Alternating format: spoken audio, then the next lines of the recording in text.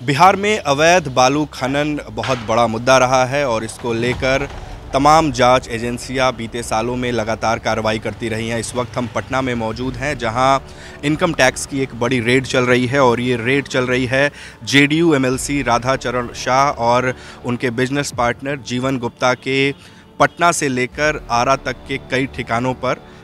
आयकर विभाग की ये रेड आज सुबह से ही चल रही है। ब्रॉडसन कंपनी से जुड़ा ये मामला बताया जा रहा है, जिन पर तमाम जो टैक्स चोरी के आरोप हैं, वो लगे हुए हैं। ब्रॉडसन कंपनी को बिहार में बालू खनन का जिम्मा मिला हुआ था, लेकिन बीते सालों में ब्रॉडसन कंपनी पर तमाम तरह के आरोप लगे हैं, और ये आरोप न सिर्फ़ टैक्स चोरी, बल्कि बालू चोरी के भी आरोप लगे रहे हैं। 2018 में भी ब्रॉडसन कंपनी पर इनकम टैक्स की छापेमारी हुई थी, तब उनके मालिक सुभाष यादव के कई ठिकानों पर ये रेड चली थी और उस वक्त इसे लालू परिवार से जोड़ा गया था। 2021 में ही जो ब्रॉडसन कंपनी के निदेशक हैं अशोक गुप्ता, उनके ऊपर पुलिस ने कई एफआईआर दर्ज की और ये एफआईआर बालू चोरी के थे। जिसके बाद ब्रॉडसन कंपनी ने बिहार के कई ज़िलों में बालू खनन से हाथ खड़े कर लिए। तब ये जानकारी सामने आई कि दरअसल ब्रॉडसन कंपनी पर करोड़ों रुपया बिहार सरकार का बकाया है और फिर बिहार सरकार ने ये पैसा वसूलने का आदेश जारी किया। कंपनी के जो निदेशक हैं उनका रुतबा किस कदर है, इसे समझने के लिए 2021 दिसंबर का ये वीडियो भी हम आपको दिखा रहे हैं, जिसमें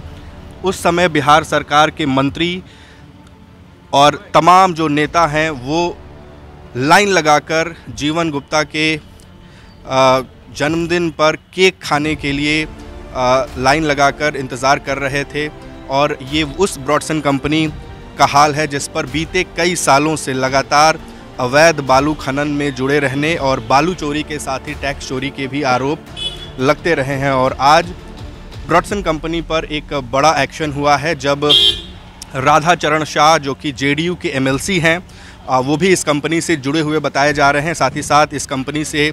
जो और लोग जुड़े हुए हैं, उनके ठिकानों पर भी छापेमारी चल रही है।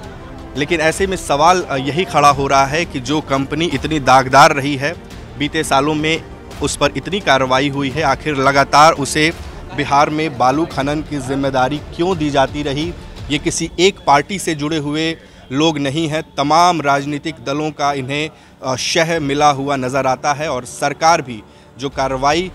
इन पर बीते सालों में करती नज़र आई है, वो सिर्फ़ ढकोसला साबित होता दिखा है और आज केंद्रीय जाँच एजेंसी